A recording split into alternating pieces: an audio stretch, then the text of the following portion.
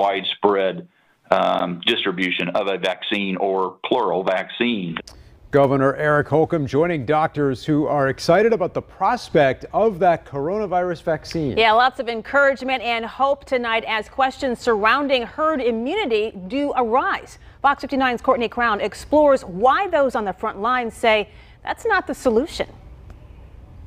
A mask fatigue population is desperate for answers to end the virus. Healthcare professionals insist removing mandates and health recommendations to see what happens is not a solution. It concerns us as medical professionals to think about what we would have to deal with and potentially see if this virus is just allowed to run amok. Herd immunity or population immunity is when enough people within a community are either vaccinated or immune from the virus.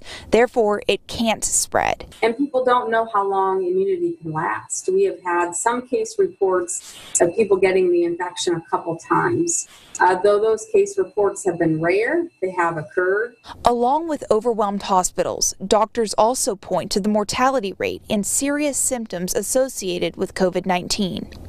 It's impacting the elderly and those with certain health conditions. And today, State Health Commissioner Kristina Box reported the new cases are tracked back to the 18 to 30 age group. We are seeing younger, more healthy people who we virtually never see die of flu uh, die of, of COVID. Healthcare experts are hopeful about the prospects of the vaccines. Unfortunately, much is not known about the long term protections. Yes, it might be very effective at preventing people from getting COVID.